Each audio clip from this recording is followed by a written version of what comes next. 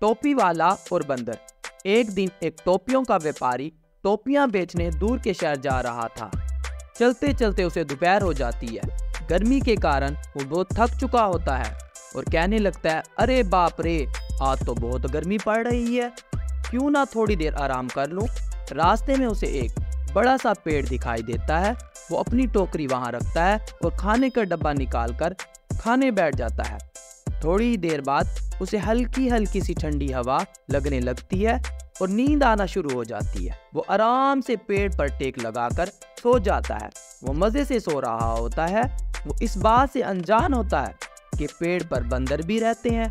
इतने में बंदरों की नज़र टोकरी पर पड़ती है। वो रंग बिरंगी टोपियों को देखकर खेलने का सोचते हैं। एक एक करके सब बंदर नीचे आ जाते हैं और टोपियाँ उठाकर पेड़ पर जाकर बैठ जाते हैं। कुछ देर बाद जब टोपी वाले की थकावट दूर होती है तो वो उठकर बैठ जाता है और कहता है, इस पेड़ की छाव में सोकर तो मज़ा आ गया। सारी थकावट उतर गई। इतने में उसकी नज़र टोपियों की टोकरी पर पड़ती है। उसके होश उड़ जाते हैं, क्योंकि उसकी टोकरी में कोई भी टोपी नहीं होती। वो एकदम से खाली होती है। उसे कुछ समझ नहीं आ रहा था कि क्या हुआ। टोपियाँ कहाँ गई? क्या कोई चोर मेरी सारी टोपियाँ ले गया है?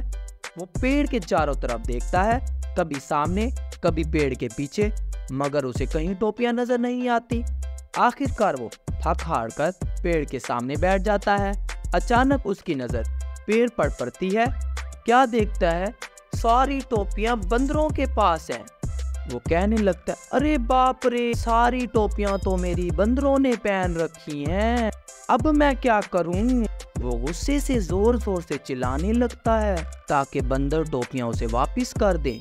लेकिन ऐसा कुछ नहीं होता। उल्टा बंदर उसकी नकल करने लग जाते हैं। ये देखकर उसे एक उपाय सूझता है।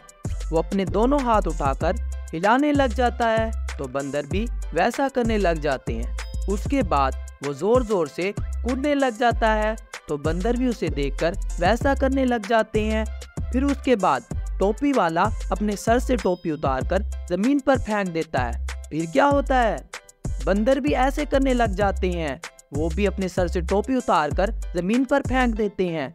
तो टोपी वाला सारी टोपियाँ ज़मीन से उठाकर टोकरी में रखता है और शहर की तरफ़ निकल पड़ता है। तो पसंद आई आज की हमारी ये कहानी? आज की कहानी से क्या शिक्षा मिली बच्चों? अगर ठंडे दिमाग से सोचा जाए तो बाय मिल जाता है।